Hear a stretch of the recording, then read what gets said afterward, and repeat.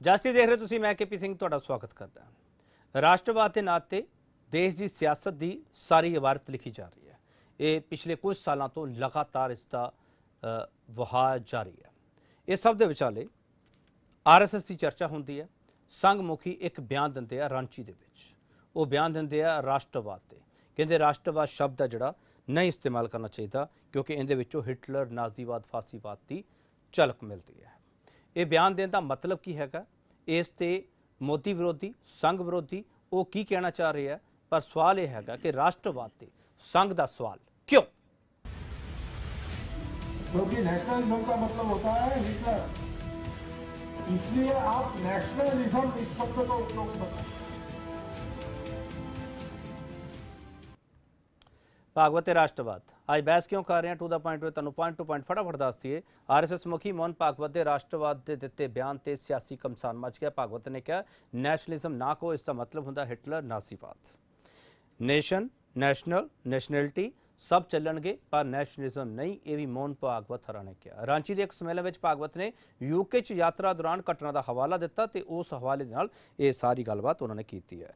Nationalism ਤੇ Hitler ਯਾਦ ਆ ਰਹੇ ਨੇ ਤਾਂ ਸੈਕੂਲਰਿਜ਼ਮ ਬੋਲ ਲਿਆ ਕਰੋ ਰੇਣੂਕਾ ਚੌਧਰੀ ਕਾਂਗਰਸ ਦੀ ਸੀਨੀਅਰ ਲੀਡਰ ਉਹ ਕਹਿ ਰਹੇ ਆ ਭਾਗਵਤ ਨੇ ਲਗਾਈ ਮੋਹਰ ਹਿਟਲਰ ਦੇ ਕਦਮਾਂ ਤੇ ਚੱਲ ਰਹੇ ਨੇ ਮੋਦੀ ਐਨਸੀਪੀ ਆਗੂ ਨਵਾਬ ਮਲਿਕ ਕਹਿ ਰਿਹਾ ਇਹ ਸਾਰੇ ਬੀਜੇਪੀ ਦੇ ਵਿਰੋਧੀ ਆ ਜਿਹੜੇ ਉਹ ਇਹ ਗੱਲਾਂ ਕਹਿ ਰਹੇ ਆ ਮੋਹਨ ਭਾਗਵਤ ਹਰਾਂ ਨੇ ਕੀ ਕਿਹਾ ਤੇ ਇਸੇ ਸਿਆਸਤ ਕੀ ਕਹਿ ਰਹੀ ਹੈ ਪਹਿਲਾਂ ਉਹ ਸੁਣ ਲਈਏ ਫਟਾਫਟ दुनिया में कई देश बड़े बने और पतित हो गए आज भी बड़े देश हैं जिनको आज का शब्द है महाशक्ति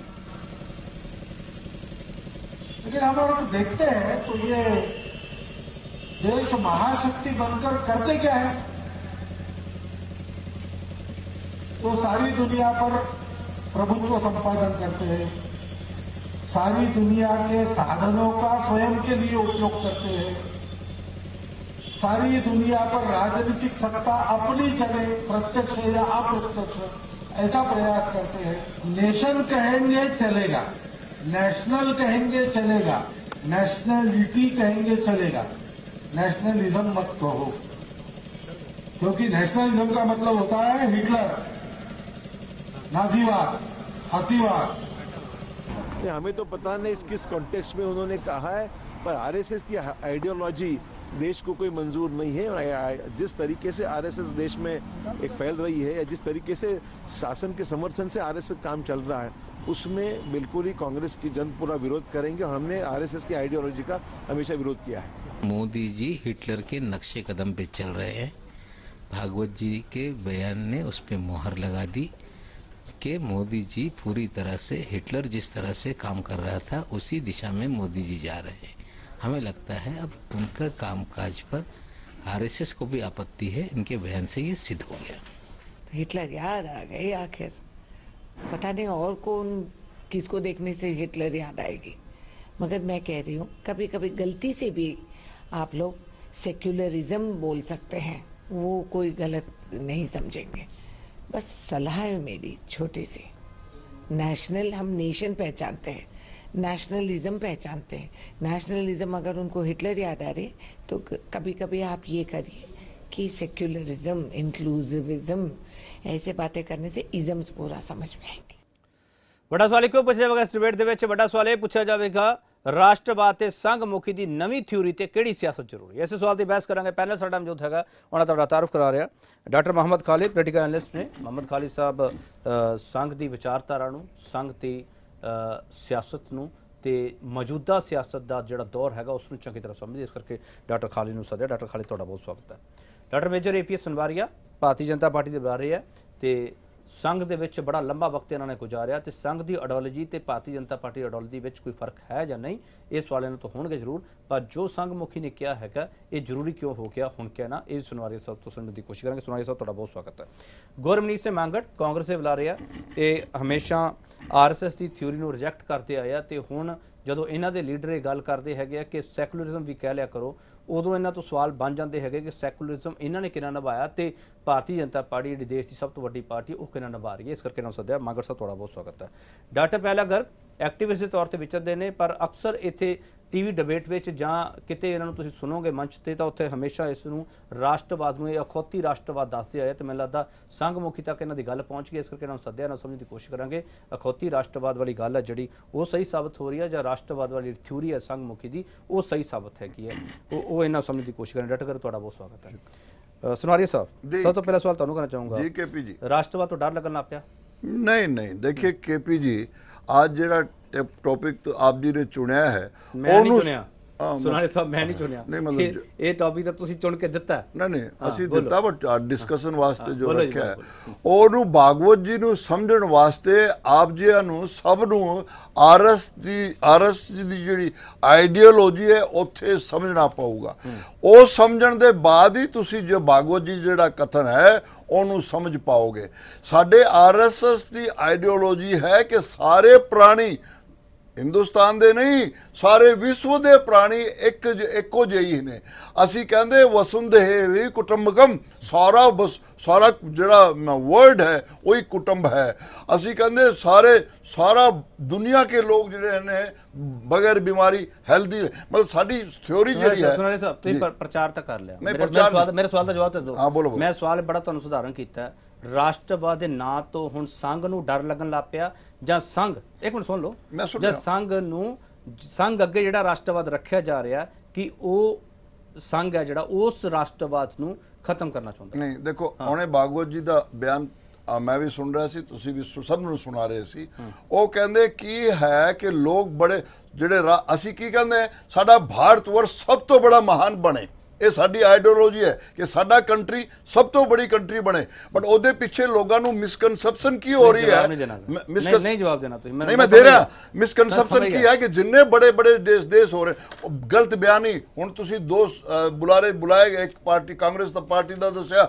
ਉਹਦੇ ਦੇਖੋ ਕਿੰਨੀ ਝੂਠ ਬੋਲੀ ਹੈ ਕਿ ਜੀ ਉਹ ਭਾਗਵਤ ਜੀ ਨੇ ਕਿਹਾ ਕਿ ਮੋਦੀ ਜੀ ਜੋ ਹੈ ਹਿਟਲਰ ਬਣਿਆ ਹੋਇਆ ਹੈ। ਨਹੀਂ ਉਹਨਾਂ ਨੇ ਕਦੇ ਇਸ ਤਰ੍ਹਾਂ ਦੀ ਮੋਦੀ ਭਾਗਵਤ ਜੀ ਨੇ ਕੁਝ ਨਹੀਂ ਕਿਹਾ।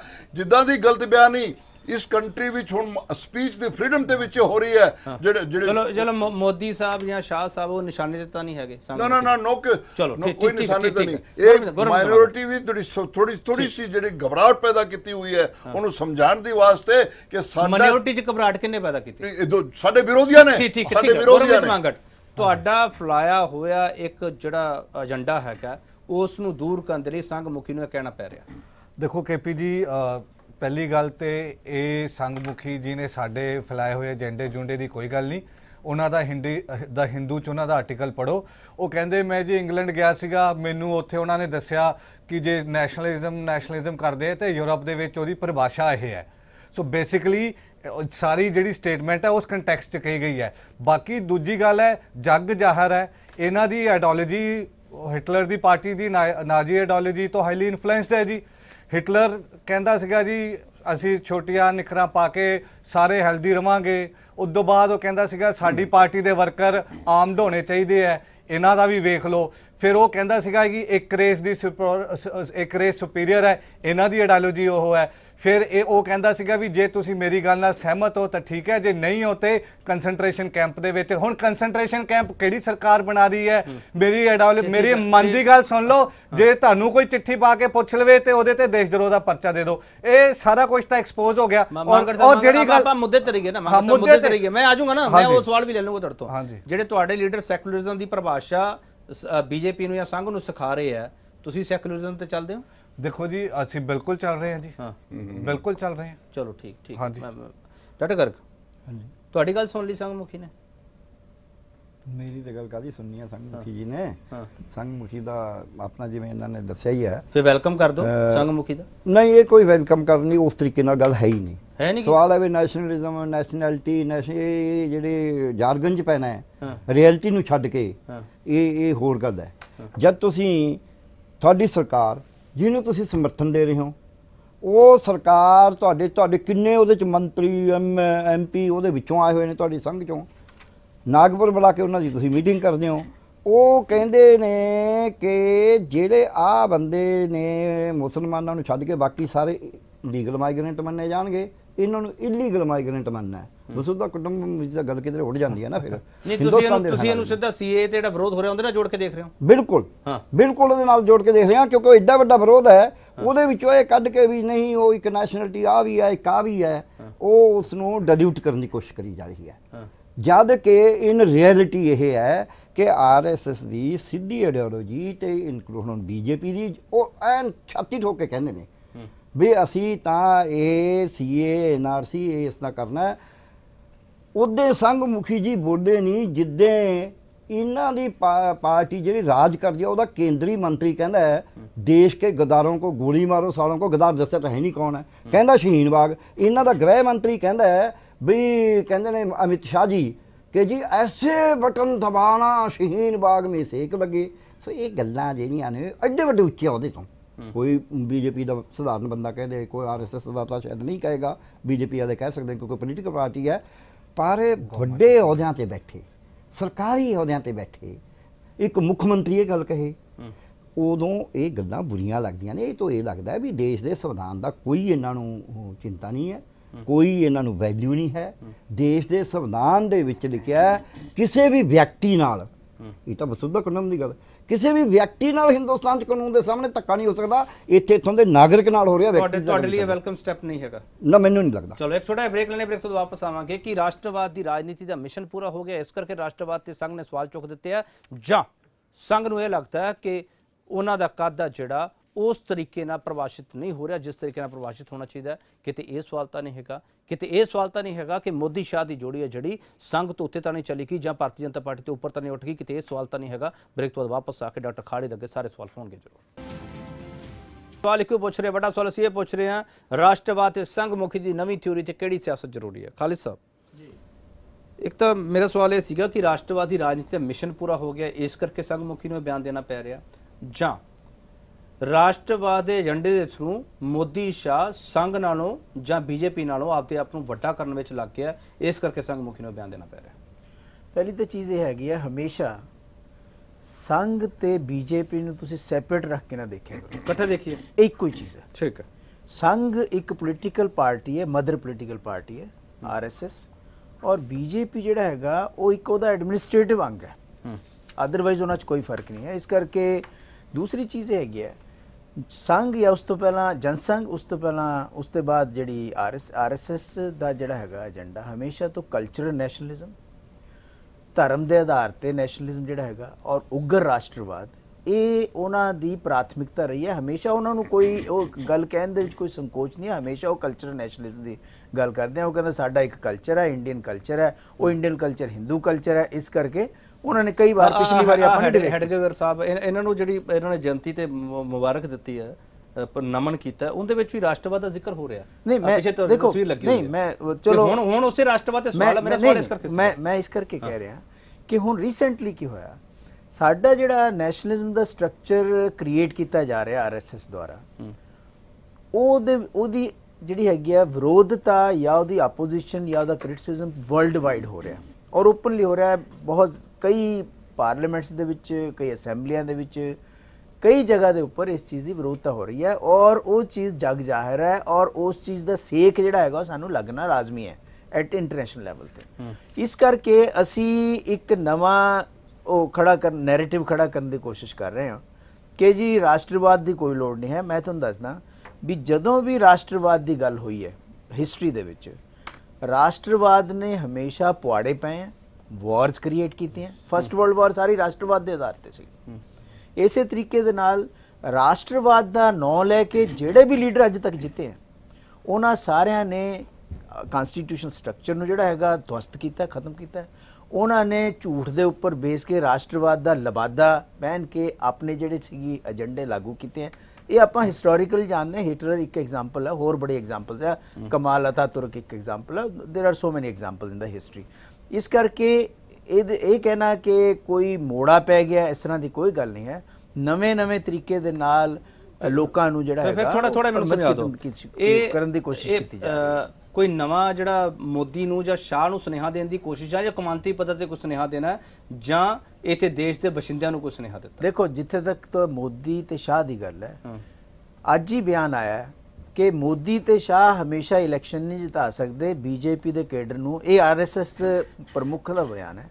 ਕਿ ਬੀਜੇਪੀ ਦੇ ਕੇਡਰ ਨੂੰ ਤਕੜਾ ਹੋ ਕਰਕੇ ਹੋਰ ਇਲੈਕਸ਼ਨਾਂ ਦੇ ਵਿੱਚ ਉਹਨਾਂ ਤੋਂ ਇਲਾਵਾ ਵੀ ਮਿਹਨਤ ਕਰਨ ਦੀ ਲੋੜ ਹੈ। ਬਹੁਤ ਅੱਜ ਦੀ ਬਿਆਨ ਹੈ। ਅੱਜ ਜਾਂ ਕੱਲ ਮੈਂ ਕਿਤੇ ਪੜ੍ਹ ਰਿਹਾ ਹੈ, ਸੀ। ਹੈ। ਇਹਦਾ ਮਤਲਬ ਹੈ ਵੀ ਉਹ ਉਹਨਾਂ ਦੀ ਤਾਂ ਥਾਪੀ ਦਿੱਤੀ ਹੋਈ ਹੈ।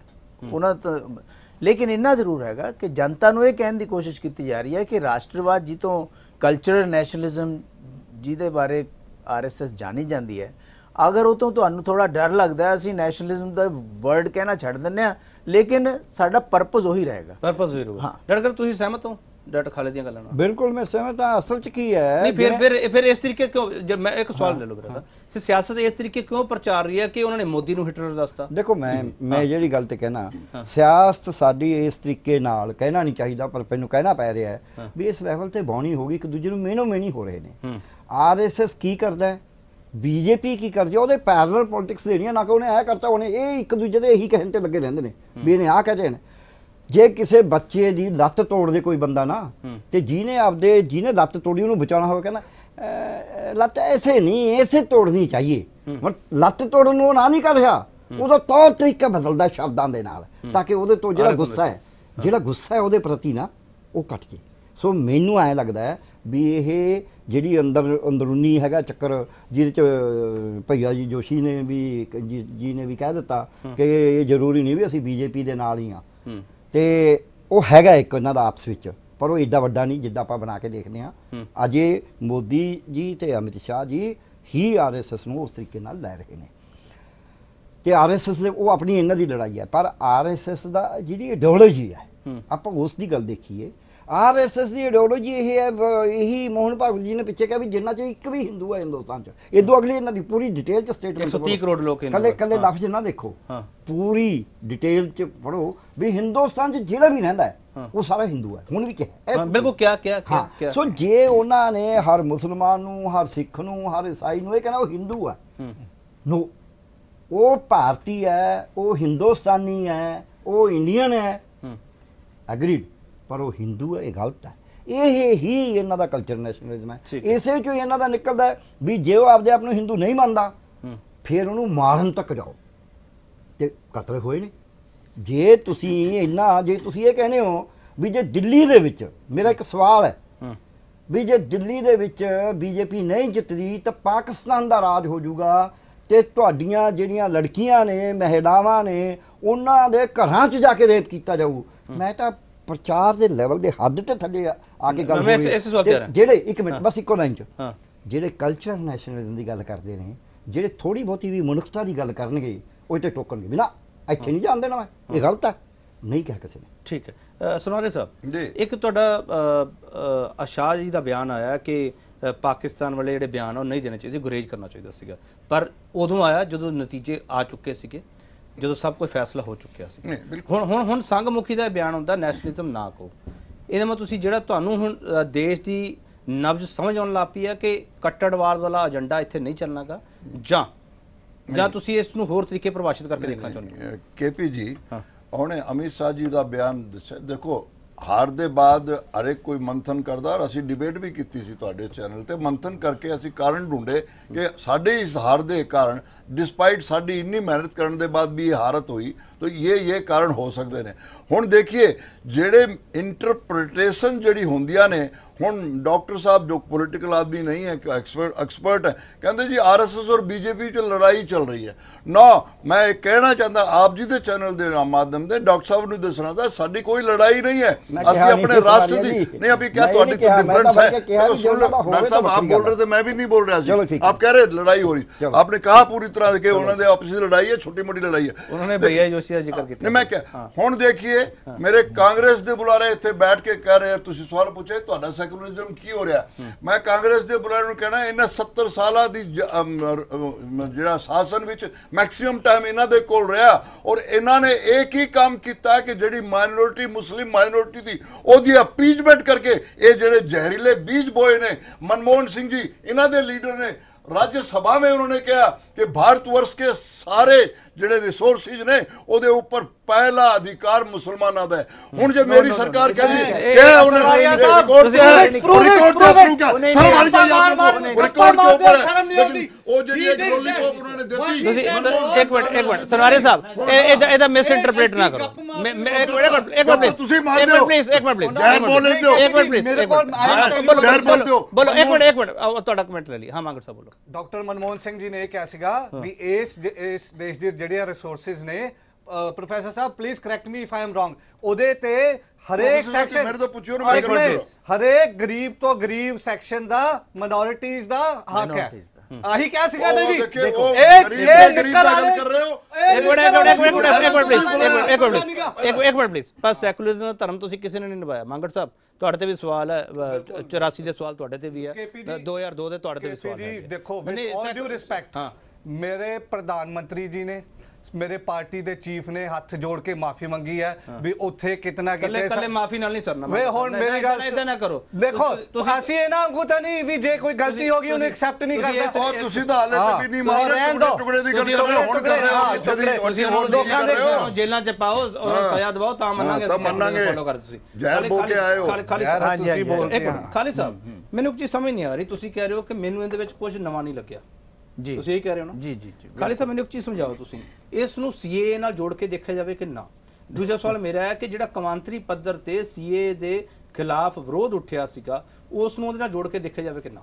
ਦੇਖੋ ਪਹਿਲੀ ਚੀਜ਼ ਤਾਂ ਹੈ ਗਿਆ ਸੀਏਏ ਦੇ ਖਿਲਾਫ ਜਿਹੜਾ ਵਿਰੋਧ ਹੈ ਉਹ ਉਹਨੂੰ ਮੈਂ ਇੱਕ ਬਿਲਕੁਲ ਡਿਫਰੈਂਟ ਤਰੀਕੇ ਦੇ ਨਾਲ ਦੇਖਦਾ। ਇਹਦੇ ਨਾਲ ਜੋੜ ਕੇ ਉਹ ਵਿਰੋਧ ਸੁਣ ਲਓ ਹਾਂ। ਇੱਕ ਮਿੰਟ। ਉਹ ਵਿਰੋਧ ਇਹ ਹੈਗਾ ਕਿ ਸਾਡਾ ਸੰਵਿਧਾਨ ਖਤਰੇ 'ਚ ਪਾਇਆ ਜਾ ਰਿਹਾ। ਹਾਂ। ਉਹਦੇ 'ਚ ਹਿੰਦੂ ਮੁਸਲਮਾਨ ਅਫਗਾਨਿਸਤਾਨੀ ਇਰਾਨੀ ਤੁਰਾਨੀ ਉਹ ਬਾਅਦ ਦੀ ਗੱਲ ਹੈ। ਪਹਿਲੀ ਚੀਜ਼ ਇਹ ਹੈਗੀ ਹੈ ਕਿ ਆਰਟੀਕਲ 15 ਦੇ ਵਿੱਚ ਜਿਹੜਾ ਡਿਸਕ੍ਰਿਮੀਨੇਸ਼ਨ ਦੀ ਗੱਲ ਹੋਈ ਹੈ ਜਿਹੜਾ ਇਹ ਕਿਹਾ ਹੈ ਕਿ ਕਿਸੇ ਵੀ ਵਿਅਕਤੀ ਦੇ ਨਾਲ ਵਿਅਕਤੀ ਲਿਆ ਤੇ ਸਿਟੀਜ਼ਨ ਨਹੀਂ ਜਿਹੜਾ ਇਹ ਭਰਮ ਫੈਲਾਇਆ ਜਾ ਰਿਹਾ ਹੈ ਕਿ ਸੰਵਿਧਾਨ ਜਿਹੜਾ ਹੈਗਾ ਤਾਂ ਸਿਟੀਜ਼ਨਸ਼ਿਪ ਵਾਸਤੇ ਹੈ ਉਹਨਾਂ ਵਾਸਤੇ ਉੱਥੇ ਵਿਅਕਤੀ ਲਿਖਿਆ ਹੋਇਆ ਅਦਰਵਾਈਜ਼ ਸਿਟੀਜ਼ਨ ਵੀ ਲਿਖਿਆ ਜਾ ਸਕਦਾ ਸੀ ਵੀ ਉਹਨਾਂ ਦੇ ਨਾਲ ਧਰਮ ਦੇ ਆਧਾਰ ਤੇ ਕੋਈ ਧਰਮ ਵਗੈਰਾ ਵਗੈਰਾ ਜੋ ਵੀ ਹੈ। ਜਿੱਥੇ ਤੱਕ ਸੀਏ ਦਾ ਸਵਾਲ ਹੈ ਸੀਏ ਦੇਖੋ ਬੀਜੇਪੀ ਦੀ ਸਰਕਾਰ ਕਦੇ ਐਕਸਪੈਕਟ ਨਹੀਂ ਕਰਦੀ ਸੀਗੀ ਉਹਨਾਂ ਨੇ ਨਹੀਂ ਸੋਚਿਆ ਸੀਗਾ ਸੀਏਏ ਦੇ ਇਸ਼ੂ ਦੇ ਉੱਪਰ ਐਡਾ ਵੱਡਾ ਵਿਰੋਧ ਪੂਰੇ ਕੰਟਰੀ ਦੇ ਵਿੱਚ ਹੋ ਜਾਏਗਾ। ਠੀਕ ਹੈ। ਹੁਣ ਉਹਨੂੰ ਸ- ਜਿਹੜਾ ਹੈਗਾ ਉਹ ਚੱਲ ਰਿਹਾ। ਸਾਰੇ ਕੰਟਰੀ ਦੇ ਵਿੱਚ ਚੱਲ ਰਿਹਾ। ਉਹਨੂੰ ਮੀਡੀਆ ਜਿਹੜਾ ਹੈਗਾ ਬਹੁਤ ਲਿਮਟਿਡ ਜਾਂ ਬਹੁਤ ਹੀ ਘੱਟ ਦਿਖਾ ਰਿਹਾ ਅਦਰਵਾਈਜ਼ ਸਾਰੇ ਕੰਟਰੀ ਸੀਏ ਚੱਲ ਰਿਹਾ ਸੀਏ ਨਾਲ ਮੈਂ ਇਸ ਕਰਕੇ ਇਹਨੂੰ ਉਹ ਕਰਨਾ ਚਾਹੁੰਦਾ ਕਿਉਂਕਿ ਇਸ ਵੇਲੇ ਸਿਚੁਏਸ਼ਨ ਹੈਗੀ ਹੈ ਕਿ ਨਾ ਸਿਰਫ ਮਾਈਨੋਰਟੀਜ਼ ਦੇ ਵਿੱਚ, ਬਲਕਿ ਉਹਦੇ ਵਿੱਚ ਜਿਹੜੀ ਪਾਰਟਿਸਿਪੇਸ਼ਨ ਹੈ ਮੈਜੋਰਟੀ ਕਮਿਊਨਿਟੀ ਦੀ ਜਾਂ ਉਹ ਲੋਕ ਜਿਹੜੇ ਇਸ ਚੀਜ਼ ਨੂੰ ਸੰਵਿਧਾਨਕ ਪਰਸਪੈਕਟਿਵ ਤੋਂ ਦੇਖ ਰਹੇ ਹਨ ਉਹ ਵੀ ਇਸ ਚੀਜ਼ ਦੀ ਵਿਰੋਧਤਾ ਕਰਨ ਲੱਗੇ ਹਨ ਉਹ ਇੱਕ ਬੜਾ ਚਿੰਤਾ ਦਾ ਵਿਸ਼ਾ ਹੈ ਬੀਜੇਪੀ ਵਾਸਤੇ ਵੀ ਆਰਐਸਐਸ ਵਾਸਤੇ। ਠੀਕ ਹੈ ਮੈਨੂੰ ਇੱਕ ਸਵਾਲ ਜਵਾਬ ਦਿਓ ਖਾਲੀ। ਮੈਂ ਬ੍ਰੇਕ ਲੈਣੀ ਬ੍ਰੇਕ ਤੇ ਜਾਣ ਤੋਂ ਪਹਿਲਾਂ ਇੱਕ ਸਵਾਲ ਤੁਹਾਨੂੰ ਲੈਣਾ ਚਾਹੁੰਦਾ।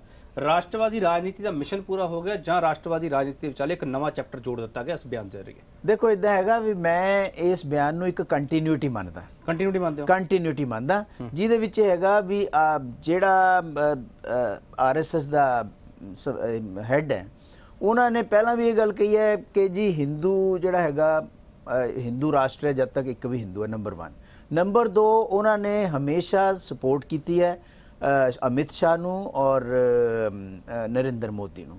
ਤੀਸਰੀ ਚੀਜ਼ ਇਹ ਹੈਗੀ ਹੈ ਆਰਐਸਐਸ ਦਾ ਕੇਡਰ ਜਿਹੜਾ ਹੈਗਾ ਉਹ ਸੀਏਏ ਦਾ ਗਰਾਊਂਡ ਤੇ ਪੂਰਾ ਪ੍ਰਚਾਰ ਵੀ ਕਰ ਰਿਹਾ ਹੈ ਸਪੋਰਟ ਵੀ ਕਰ ਰਿਹਾ ਹੈ ਰੈਲੀਜ਼ ਵੀ ਕਰ ਰਿਹਾ ਹੈ। ਇਟ ਮੀਨਸ ਆਰਐਸਐਸ ਦੀ ਆਈਡੀਓਲੋਜੀ ਉੱਥੇ ਖੜੀ ਹੈ ਉਹਦੇ 'ਚ ਕੋਈ ਚੇਂਜ ਨਹੀਂ ਫਿਰ ਨੈਸ਼ਨਲਿਜ਼ਮ ਖਿਲਾਫ ਤਾਂ ਪਹਿਲੀ ਹੀ ਬੋਲੀ ਨਾ ਮੈਂ ਕਿਹਾ ਜੀ ਨੈਸ਼ਨਲਿਜ਼ਮ ਦੇ ਖਿਲਾਫ ਨਹੀਂ ਮੈਨੂੰ ਕਹਿੰਦਾ। ਨਹੀਂ, ਨਹੀਂ, ਨਹੀਂ, ਨਹੀਂ ਲੱਗਦਾ ਤੁਹਾਨੂੰ। ਇਹ ਉਹਨਾਂ ਦਾ ਨੈਸ਼ਨਲਿਜ਼ਮ ਦਾ ਜਿਹੜਾ ਪਰਸਪੈਕਟਿਵ ਦਾ ਉਹ ਤੋਂ 1 ਇੰਚ ਵੀ ਇੱਧਰ ਉੱਧਰ ਨਹੀਂ ਹੈ। ਇਧਰ ਉਧਰ ਨਹੀਂ। ਇੱਕ ਛੋਟਾ ਹੋਰ ਬ੍ਰੇਕ ਲਵਾਂਗਾ ਬ੍ਰੇਕ ਤੋਂ ਵਾਪਸ ਆਉਂਗਾ ਸਵਾਲ ਇਹ ਹੈਗਾ ਕਿ ਨੈਸ਼ਨਲਿਜ਼ਮ ਦੇ ਖਿਲਾਫ ਤਾਂ ਨਹੀਂ ਬੋਲੇ ਸੰਗਮੁਖੀ ਡਾਕਟਰ ਖਾਲਿਦ ਇਹ ਗੱਲ ਕਹਿ ਰਹੇ। ਡਾਕਟਰ ਗਰਗ ਤੋਂ ਸਮਝਣ ਦੀ ਕੋਸ਼ਿਸ਼ ਕਰਾਂਗੇ। ਫਿਰ ਉਹਨਾਂ ਨੇ ਬੋਲਿਆ ਕੀ ਹੈਗਾ ਤੇ ਸਾਨੂੰ ਸਮਝ ਕੀ ਆ ਰਿਹਾ ਤੇ ਸਮਝਾ ਕੀ ਰਹੇ ਆ ਤੇ ਸਿਆਸਤ ਤੇ ਕਿਹੜੀ ਹੋਣੀ ਚਾਹੀਦੀ ਬ੍ਰੇਕ ਤੋਂ ਵਾਪਸ ਆ ਰਿਹਾ ਰਾਸ਼ਟਰਵਾਦੀ ਸੰਗਮੁਖੀ ਦੀ ਨਵੀਂ ਥਿਊਰੀ ਤੇ ਕਿਹੜੀ ਸਿਆਸਤ ਜ਼ਰੂਰੀ ਹੈ?